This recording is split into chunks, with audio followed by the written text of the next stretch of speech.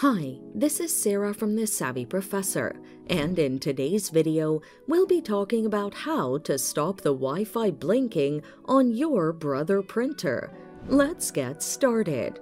Your Wi-Fi is blinking on the Brother printer because of a weak signal. Do this to get your Wi-Fi to operate optimally. Switch off your printer, computer, and Wi-Fi router and unplug these devices from the power outlet.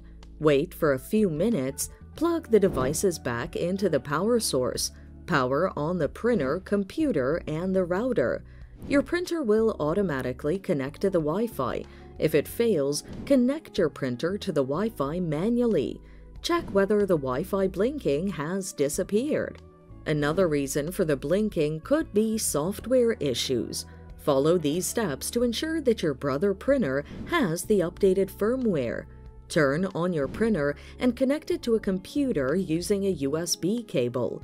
Go to the Start button and click on All Apps. Select Brother P Touch, then P Touch Update Software.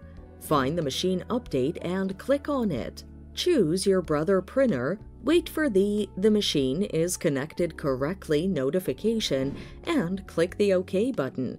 Select your preferred language and tick the software to be updated. Click the transfer button at the bottom of the page.